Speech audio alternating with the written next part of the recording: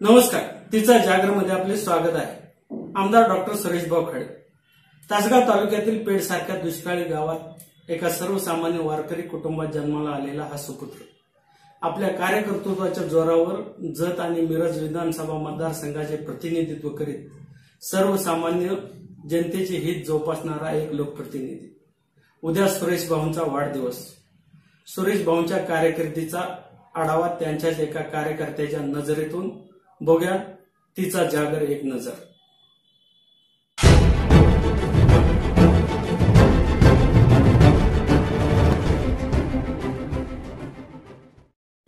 निसर्गाच्या सान्निध्यात मात्र दुष्काळाचा शाप घेऊन वसलेलं आमदार डॉक्टर सुरेशभाऊ खाडे यांचं मूळ गाव पेड तासगाव तालुक्यात असणारं आणि खानापूर तालुक्याच्या सीमेवर डोंगरांच्या कुशीत वसलेलं पेड हे गाव.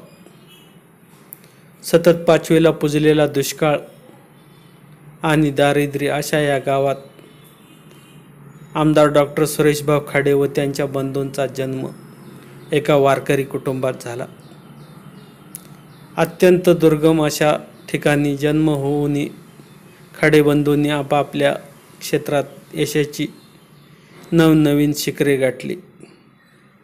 अत्यंत प्रतिकूल परिस्थितीशी टक्कर घेत एका वारकरी कुटुंबात जन्माला आलेल्या या बंधूंनी आज पेड गावाचे नाव संपूर्ण जगभर नेऊन ठेवले आहे.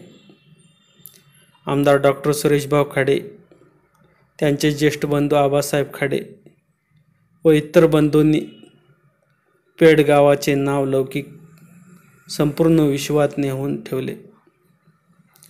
आमदार सुरेशभाऊ हे तर तासगाव तालुक्यात जन्मलेले असताना त्यांनी जत विधानसभा मतदारसंघ आणि मिरज मतदारसंघातून आमदार होण्याची किमिया साधली.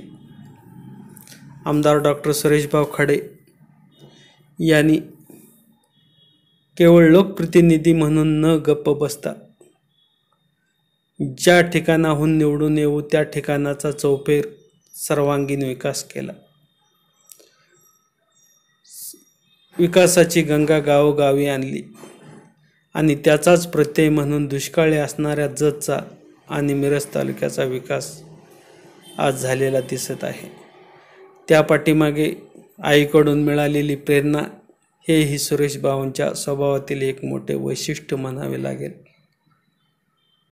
सांगली जिल्हा मुख्यालयाचा तालुका असलेला मिरज मा- तालुका हा तसा मागासच. अशा खडतर समस्यांनी ग्रासलेल्या मतदारसंघात दहा वर्षापूर्वी राजकारणाच्या माध्यमातून आमदार सुरेशभाऊ खडे यांचा प्रवेश झाला. मिरज विधानसभा मतदारसंघ मागासवर्गीयांसाठी आरक्षित झाला आणि या मतदारसंघात त्यांनी निवडणूक लढवण्याचा निर्णय घेतला. निवडणुकीत मिरज मतदारसंघातील मतदारांनी त्यांना पहिली पसंती दिली. काँग्रेसच्या किल्ले बालेकिल्ल्याला त्यांनी धक्का देत विजय मिळवला. विजयाबरोबर त्यांनी दिलेल्या आश्वासनांची पूर्तता करण्याचा वेढा उचलला. तो त्यांनी पूर्णत्व असलेला हेच त्यांच्या कार्याचे मोठे यश ठरले. त्यांच्या कार्याने पन्नास वर्षात जे झाले नाही ते रस्ते पिण्याच्या पाण्याच्या योजना राबवून मतदारसंघाचा कायापालट केला. भागातील रस्त्यांच्या समस्या हा जुना व बिकट विषय होता.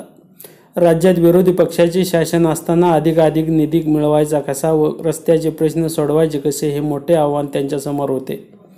मात्र विरोधी भाजपा आमदार असूनही आमदार खाडे यांनी आपली आमदारकी पणाला लावून निधी खेचून आणला. या निधीच्या माध्यमातून मतदारसंघात गेले अनेक वर्षे दुरावस्थेचे पांघरून घेतलेल्या रस्त्यांचे रूप पालटले. मतदारसंघातील राज्यमार्ग जिल्हा मार्ग व गावांतर्गत रस्त्यांची कामे मार्गी लागली आहेत. रस्त्यांबरोबर मतदारसंघातील पूर्व भागात पिण्याच्या पाण्याची मोठी समस्या होती. गावागावात निर्माण झालेल्या या समस्येचे निवारण करण्यासाठी मतदारसंघातील टंचाईग्रस्त गावात भारत निर्माण राष्ट्रीय पेयजल योजनांना मंजुरीसाठी पुढाकार घेतला. लोकसंख्येने मोठ्या असलेल्या गावात कोट्यावधी रुपये खर्चाच्या पाणी योजनांना मंजुरी करणे आणली. मालगाव टाकळी बोलवाडसह अनेक गावात या पाणी योजना राबवल्या. या योजनांमुळे पूर्वीच पूर्व भागातील अनेक गावांचा पाणी प्रश्न सोडवण्यात ते यशस्वी ठरले. या प्रमुख समस्या सोडवताना त्यांनी शासनाच्या इतर योजनांचा लाभ मिळवून दिला आहे. त्यामध्ये आरोग्यविषयक योजनांचा लाभ मिळवून दिला. शासकीय मदतीने दुर्धर आजारी असलेल्या रुग्णांना मदतीचा हात दिला.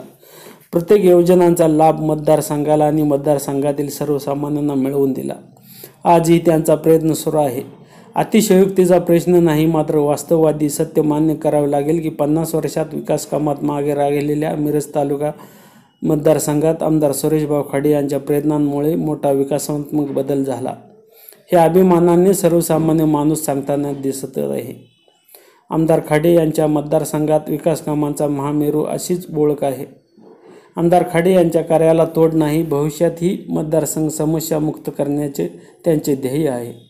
राजकारणात कितीही वादळे आली तरी मतदारसंघातील जनता आमदार सुरेशभाऊ खाडे यांच्या पाठीशीच राहणार असल्याने त्यांचे ध्येय पूर्ण होणारच यात शंका नाही. एका सर्वसामान्य कुटुंबात जन्माला येऊन सर्वसामान्यांचे दुःख समजावून घेणाऱ्या अशा या सर्वमान्य सर्व लौकिक नेत्याला वाढदिवसाच्या लाखो लाखो शुभेच्छा.